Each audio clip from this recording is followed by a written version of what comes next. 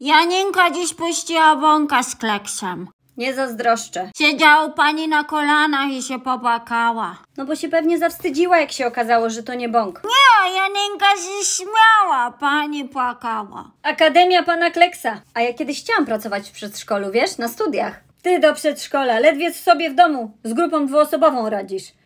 A ciebie ktoś kiedyś obkleksał, babcia? Gołąb ostatnio przy piekarni. Czepiec do czyszczenia. A czemu ja się według ciebie do dzieci nie nadaję? Córcia, ty nie jesteś asertywna. Na łeb by ci wlazły, zadziobały i nie powiem co jeszcze, jak gołąb. To są dzieci, mamo, małe, słodkie istoty. Jakie dzieci? Matki, to jest plaga. Oblazłyby cię jak szarańcza. Ty masz w sobie za dużo spokoju.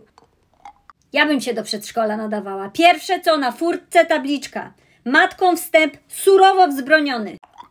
Te niektóre matki od ciebie z przedszkola to są jak gołębie. Łeb to im tak chodzi. I tylko dziobią. Idziemy, Januszek. Do gołębnika. Do przedszkola znaczy.